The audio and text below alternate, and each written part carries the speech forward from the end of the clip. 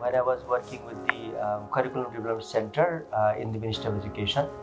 Uh, we worked very uh, closely with the British Council team and uh, um, started developing the um, curricular materials, particularly um, in English, and also uh, made a remarkable um, gain in the way that we should start with the new um, approach to teaching English.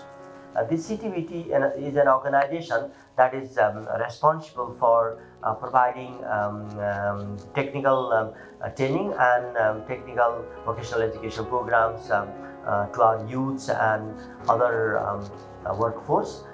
From that point of view, I think the collaboration with the British Council has also exp- expanded through other activities. British Council's global knowledge, global expertise have also been utilized for uh, providing that support to CTVT system as well as providing training to the uh, unemployed or uh, potential um, youths, those who are likely to enter into the job market. The area of our collaboration with the British Council has expanded uh, from uh, more subject specific support system to a more uh, wider um, economic and uh, say poverty reduction activities.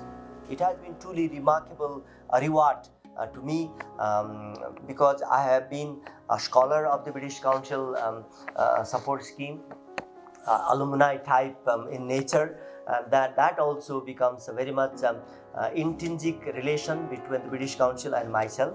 And then also, I would like to congratulate the British Council 60 years plus. This is um, not only 60 years, I think we have gone well over 60 years, and this has been truly a very representative uh, history of how a successful partnership can demonstrate very uh, convincing results in the education sector. That's why even we cannot think of Nepal's education system in, in absence of the British Council's uh, uh, collaboration.